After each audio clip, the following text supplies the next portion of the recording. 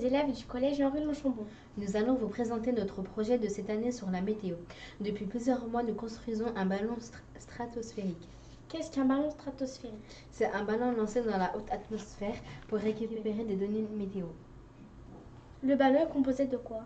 Le ballon est composé d'un ballon gonflé d'hélium pour être plus léger que l'air et monter en altitude en parachute qui sert à amortir la chute, un réflecteur radar pour que les avions le repèrent et une nacelle contenant tous les capteurs météo. Mais la nacelle est construite avec quoi? Elle est construite en carton-plume et très légère. Mais qu'est-ce qu'il y a dans la nacelle? Il y a il y a un capteur, un capteur de température et d'humidité, une carte, une carte Arduino 5 volts, une carte Kikiwi, euh, une carte Kikiwi qui prend les informations et la position 3,3 volts.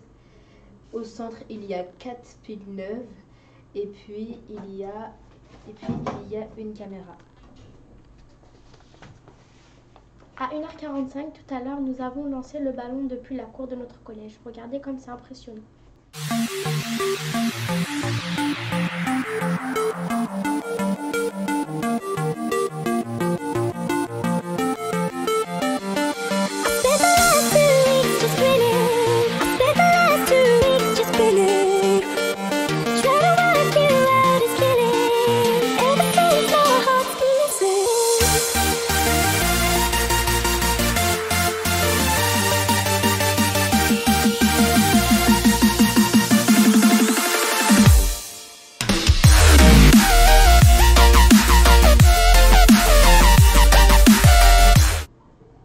Le ballon a atterri à 16 heures.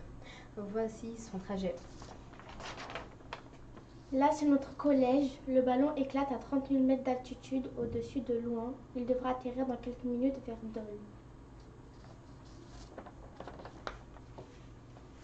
Nous espérons le récupérer très vite pour pouvoir découvrir les images de la caméra et les données météo récoltées. Merci de votre attention à tous. On vous tient au courant. Au, revoir.